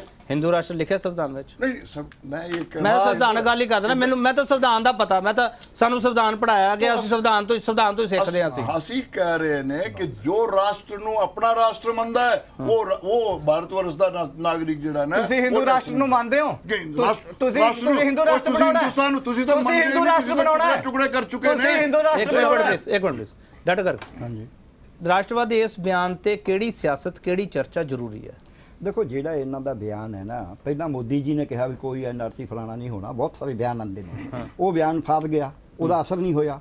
ਫਿਰ ਗੋਲੀ ਮਾਰਨ ਵਾਲਾ ਬਿਆਨ ਆਇਆ ਉਹਦਾ ਅਸਰ ਨਹੀਂ ਹੋਇਆ। ਰਿਜ਼ਲਟ ਸਾਡੇ ਸਾਹਮਣੇ ਆ ਰਹੇ ਨੇ ਲੋਕਾਂ 'ਚ। ਨਾ ਐਨਆਰਸੀ ਸੀਏ ਦੇ ਵਿਰੁੱਧ ਜਿਹੜਾ ਅੰਦੋਲਨ ਚੱਲ ਰਿਹਾ ਉਹ ਖਤਮ ਹੋਇਆ। ਹੁਣ ਇੱਕ ਨਵਾਂ ਤਰੀਕਾ ਹੈ। ਇਹ ਤਰੀਕੇ ਨੇ ਮੈਂ ਇਹਨਾਂ ਦੀ ਗੱਲ ਦਾ ਤਾਂ ਨਹੀਂ ਜਵਾਬ ਦਿੰਦਾ ਵੀ ਬਹੁਤ ਸਾਰਾ ਜਿਹੜਾ ਤੁਸੀਂ ਬਿਨਾ ਇਤਿਹਾਸ ਦੇ ਬਿਨਾ ਗੱਲ ਦੇ ਗੱਲ ਕਰੀ ਜਾਓ ਉਹਦਾ ਕੋਈ ਫਾਇਦਾ ਨਹੀਂ ਹੁੰਦਾ ਜਵਾਬ ਦੇਣ ਦਾ। ਬੇ- ਬੇ- ਸੰਵਿਧਾਨ 'ਚ- basically ਇੱਕ ਨਵਾਂ ਤਰੀਕਾ, ਨਵੀਂ theory। ਤੁਹਾਡੇ ਸਵਾਲ ਦਾ ਜਵਾਬ ਦਿੰਦਾ। ਸੰਵਿਧਾਨ 'ਚ ਇੱਕ ਵੀ ਜਗ੍ਹਾ ਤੇ ਹਿੰਦੁਸਤਾਨ ਨਹੀਂ ਲਿਖਿਆ। ਇੱਕ ਵੀ ਜਗ੍ਹਾ ਦੇ ਉੱਤੇ ਇਹ ਨਹੀਂ ਲਿਖਿਆ ਵੀ ਇਹ ਹਿੰਦੂ ਰਾਸ਼ਟਰ ਹੈ। ਇੱਕ ਗੱਲ। ਦੂਜੀ ਗੱਲ ਸੰਵਿਧਾਨ ਦੇ ਉੱਤੇ ਜਿਹੜੀ ਨਾਗਰਿਕਤਾ ਦਾ ਸਵਾਲ ਹੈ ਕਿਤੇ ਨਹੀਂ ਲਿਖਿਆ ਵੀ ਕਿਸੇ ਨੂੰ ਨਾਗਰਿਕਤਾ ਜਿਹੜੇ ਧਰਮ ਜਾਤ ਜਾਂ ਬੋਲੀ ਦੇ ਆਧਾਰ ਤੇ ਦੇਣੀ ਹੈ। ਇਹ ਗੱਲ ਚਰਚਾ ਹੋਈ 10 11 ਅ, 12 ਅਗਸਤ 1949 ਨੂੰ ਸੰਵਿਧਾਨ ਘੜਨੀ ਅਸੈਂਬਲੀ ਦੇ ਵਿੱਚ ਸਭਾ ਦੇ ਵਿੱਚ ਇਹ ਚਰਚਾ ਹੋਈ ਕਿ ਹਿੰਦੂ ਸਿੱਖਾਂ ਦੇ ਆਧਾਰ ਤੇ ਦਿੱਤੀ ਜਾਵੇ ਪਰ ਵੋਟਿੰਗ ਤੇ ਜਾਣ ਤੋਂ ਪਹਿਲਾਂ ਹੀ ਰਿਜੈਕਟ ਹੋ ਗਈ। ਕਿਤੇ 1940 ਚ ਨਹੀਂ ਦਿੱਤੀ ਗਈ ਕਿਤੇ 1947 ਚ ਨਹੀਂ, ਦਿੱਤੀ ਗਈ। ਇੱਕ ਗੱਲ ਸੀ ਲੈਟ ਮੀ 1935 ਦੇ ਵਿੱਚ ਇੱਕ ਕਮਨਲ ਅਵਾਰਡ ਦਿੱਤਾ ਸੀ ਅੰਗਰੇਜ਼ ਨੇ। ਉਹਦੇ ਚ ਉਹਨੇ ਕਿਹਾ ਸੀ ਕੌਨਸਟੀਟਿਊਸ਼ਨਾਂ ਹਿੰਦੂਆਂ ਦੀਆਂ ਹਿੰਦੂਆਂ ਦੀਆਂ ਸਿੱਖਾਂ ਦੀਆਂ ਸਿੱਖਾਂ ਦੀਆਂ ਮੁਸਲਮਾਨਾਂ ਦੀਆਂ ਮੁਸਲਮਾਨਾਂ ਦੀਆਂ ਐਂਗਲੋ ਇੰਡੀਅਨ ਦੀਆਂ ਐਂਗਲੋ ਇੰਡੀਅਨ ਵਾਸਤੇ। ਉਹਨਾਂ ਨੂੰ ਉਹ ਵੋਟ ਪਾਉਣਗੇ। ਹਾਂਜੀ ਖਾਲਿਦ ਸਾਹਿਬ ਨਹੀਂ ਮੈਂ ਤਾਂ ਇਹ ਕਹਿ ਰਿਹਾ ਵੀ ਸੰਵਿਧਾਨ ਸਭਾ ਦੀ ਗੱਲ ਕੀਤੀ ਹੈ ਡਾਕਟਰ ਸਾਹਿਬ ਨੇ। ਸੰਵਿਧਾਨ ਸਭਾ ਤਾਂ ਇੱਥੇ ਤੱਕ ਕਮਿਟਡ ਸੀ ਕਿ ਜਿਸ ਵੇਲੇ ਸਾਡੀ ਪ੍ਰੀਐਮਬਲ ਡਿਸਕਸ ਹੋ ਰਹੀ ਸੀ ਉੱਥੇ ਇਹ ਹੋਇਆ ਕਿ ਅਸੀਂ ਪ੍ਰੀਐਮਬਲ ਦੀ ਸ਼ੁਰੂਆਤ ਕਿਵੇਂ ਕਰੀਏ? ਕੋਈ ਕੋ ਲੋਕਾਂ ਨੇ ਕਿਹਾ with the name of god ਔਰ ਉਹਦੇ ਪਰ VOTING ਹੋਈ ਔਰ ਰਿਜੈਕਟ ਹੋ ਗਈ? ਕਿ ਨਹੀਂ with the name of god ਨਹੀਂ we the people of India we the people of India Sunare Sahib last minute ਤੁਹਾਡੇ ਚਾਹੀਦੇ ਸੁਨਾਰੇ ਸਾਹਿਬ ਜੋ ਤੁਸੀਂ ਉੱਥੇ ਸੰਗਤ ਦੇ ਵਿੱਚ ਜਾਂਦੇ ਹੋ ਸ਼ਾਖਾ ਵਗੈਰਾ ਲਾਉਂਦੇ ਹੋ ਤੁਸੀਂ ਤੁਹਾਨੂੰ ਸਾਰੀ ਜਿਹੜੀ ਸਿਖਲਾਈ ਦਿੱਤੀ ਜਾਂਦੀ ਹੈ ਉਹਦੇ ਵਿੱਚ ਸੈਕੂਲਰਿਜ਼ਮ ਸ਼ਬਦ ਵਰਤਿਆ ਜਾਂਦਾ? ਦੇਖੀਏ ਸਾਹਿਬ ਮੈਂ ਬਾਰ-ਬਾਰ ਆਪ ਨੂੰ ਕਹਿੰਦਾ ਹੁਣ ਖਾਲਦ ਸਾਹਿਬ ਨੇ ਵੀ ਕਿਹਾ ਕਿ ਉੱਥੇ ਲਿਖਿਆ ਕਿ ਕੋਈ ਬਾਈ ਦੀ ਨੇਮ ਆਫ ਗੋਡ ਨਹੀਂ। ਮੈਂ ਕਹਿੰਦਾ ਬਾਈ ਦੀ ਨੇਮ ਆਫ ਦ ਨੇਸ਼ਨ ਜਿਹੜਾ ਆਪਣਾ ਭਾਰਤ ਸਰ ਮੈਂ। ਜਿਹੜਾ ਸਵਾਲ ਕਰਦਾ ਮੇਰੇ ਸਵਾਲ ਦਾ ਜਵਾਬ ਕਿਉਂ ਨਹੀਂ ਦਿੰਦੇ ਤੁਸੀਂ? ਬੋਲੋ, ਬੋਲੋ। ਮੈਂ ਕਿਹਾ ਵੀ ਜਦੋਂ ਤੁਸੀਂ ਸੰਘ ਦੇ ਵਿੱਚ ਜਾਂਦੇ ਹੋ ਸੈਕੂਲਰਿਜ਼ਮ ਦਾ ਜ਼ਿਕਰ ਹੁੰਦਾ ਉੱਥੇ? ਅਸੀਂ ਤਾਂ ਸੈਕੂਲਰਿਜ਼ਮ ਦੀ ਗੱਲ ਕਰ ਰਹੇ ਹਾਂ ਸਾਰੇ ਵਰਲਡ ਦੀ ਗੱਲ ਕਰ ਰਹੇ ਵਸੁੰਧੈਵ ਕੁਟੰਬਕਮ। ਮੈਂ ਉਹਦਾ ਹੀ ਗੱਲ ਕਰ ਰਿਹਾ ਤੁਸੀਂ ਤੁਸੀਂ ਤਾਂ ਇੱਕ ਸਟੇਟ ਦੀ ਗੱਲ ਕਰ ਰਹੇ ਹੋ ਇਹ ਰਾਸ਼ਟਰ ਦੀ। ਅਸੀਂ ਤਾਂ ਸਾਰੇ ਦੁਨੀਆ ਨੂੰ ਆਪਣਾ ਮੰਨਦੇ ਨੇ ਸਭ ਨੂੰ ਬੜਾ ਅੰਤਿਓਦੈ ਜੋ ਹੁਣ ਕਾਂਗਰਸ ਵਾਲੇ ਖਾਲਿਦ ਸਾਹਿਬ ਸੀ, ਗਰੀਬ ਆਦਮੀ ਦੀ ਗੱਲ ਕਰ ਰਹੇ। ਅੰਤਿਓਦੈ ਅਸੀਂ ਸ਼ੁਰੂ ਕੀਤਾ। ਆਖਰੀ ਆਦਮੀ ਜਿਹੜਾ ਬਟਿਆ ਉਹਦੇ ਡਿਵੈਲਪਮੈਂਟ ਗੱਲ ਇਹ ਹੈਗੀ ਹੈ ਵੀ ਜੇ ਤੁਸੀਂ ਵਸੂਦੇਵ ਕੁਟੁੰਬਕਮ ਦੀ ਗੱਲ ਕਰਦੇ ਹੋ ਫਿਰ ਆ ਪੁਆੜੇ ਕਿਉਂ ਪਾਇਆ ਵੀ ਅਫਗਾਨਿਸਤਾਨ ਤੋਂ ਆਊਗਾ ਇਰਾਨ ਤੋਂ ਆਊਗਾ? ਫਿਰ ਸਾਰਿਆਂ ਨੂੰ ਉਹ ਕਰ ਦਿਓ ਫਿਰ ਸਾਰਿਆਂ ਨੂੰ ਕਰ ਦਿਓ ਨਾ ਕਿ ਲੋੜ ਹੀ ਨਹੀਂ ਹੈ ਜ਼ਹਿਰ ਲਗਾ ਨਹੀਂ ਨਹੀਂ ਕੋਈ। ਲੋੜ ਹੀ ਨਹੀਂ ਹੈ ਨਾ ਨਾ ਇਹ ਉਹਦਾ ਸਾਹਿਬ, ਫਿਰ ਤਾਂ ਸਭ ਵਾਸਤੇ ਉਹਦਾ ਬੈਕਗ੍ਰਾਉਂਡ ਨਹੀਂ, ਇਹ ਤਾਂ ਫਿਰ expose ਹੋ ਗਏ ਡਾਕਟਰ ਸਾਹਿਬ, ਇਹ ਤਾਂ ਫਿਰ double standard ਹੋ ਨਾ। ਚਲੋ ਬਹੁਤ ਬਹੁਤ- ਬਹੁਤ ਧੰਨਵਾਦ ਬਹੁਤ ਧੰਨਵਾਦ ਮੇਰੇ ਕੋਲ. ਵਕਤ ਵਕਤ ਨਹੀਂ ਹੈ ਮੇਰੇ ਕੋਲ ਤੁਹਾਡਾ ਬਹੁਤ ਧੰਨਵਾਦ. ਖਾਲਿਦ ਸਾਹਿਬ ਤੁਹਾਡਾ ਬਹੁਤ ਧੰਨਵਾਦ ਸਨਵਾਰੇ ਸਾਹਿਬ ਤੁਹਾਡਾ ਬਹੁਤ ਧੰਨਵਾਦ ਮੰਗਰ ਸਾਹਿਬ ਤੁਹਾਡਾ ਬਹੁਤ ਧੰਨਵਾਦ ਰਾਸ਼ਟਰਵਾਦ ਦਾ ਸਵਾਲ ਸੰਘ ਨੇ ਕਿਉਂ ਖੜਾ ਕੀਤਾ ਉਹ ਸਵਾਲ ਦਾ ਜਵਾਬ ਇਸ ਪੈਨਲ ਨੇ ਬਖੂਬੀ ਦੇ ਦਿੱਤਾ। ਰਾਸ਼ਟਰਵਾਦ ਨੂੰ ਤੁਸੀਂ ਕਿਵੇਂ ਸਮਝਦੇ ਹੋ? ਹਿਟਲਰ ਨੂੰ ਤੁਸੀਂ ਕਿਵੇਂ ਸਮਝਦੇ ਹੋ? ਨਾਜ਼ੀਵਾਦ ਨੂੰ, ਫਾਸੀਵਾਦ ਨੂੰ ਤੁਸੀਂ ਕਿਵੇਂ ਸਮਝਦੇ ਹੋ? ਇਹ ਤੁਸੀਂ ਸਮਝਣਾ ਹੈਗਾ। ਪਰ ਇਹ ਸਭ ਕੁਝ ਤੁਸੀਂ ਸਮਝ ਲਿਓ, ਪਰ ਸੰਵਿਧਾਨ ਨੂੰ ਜ਼ਰੂਰ ਸਮਝਦੇ ਰੱਖਿਓ ਕਿ ਸੰਵਿਧਾਨ ਦੇ ਵਿੱਚ ਕੀ ਲਿਖਿਆ ਹੋਇਆ ਤੇ ਸੰਵਿਧਾਨ ਸਾਨੂੰ ਦੱਸਦਾ ਕੀ ਹੈਗਾ ਕਿਉਂਕਿ ਜੇ ਸੰਵਿਧਾਨ ਦੇ ਮੁਤਾਬਕ ਅਸੀਂ ਸੋਚਾਂਗੇ ਤਾਂ ਫਿਰ ਸਾਨੂੰ ਗੈਰ ਸੰਵਿਧਾਨਕ ਚੀਜ਼ਾਂ ਦਾ ਪਤਾ ਲੱਗ ਜਾਏਗਾ। ਬਹੁਤ ਧੰਨਵਾਦ।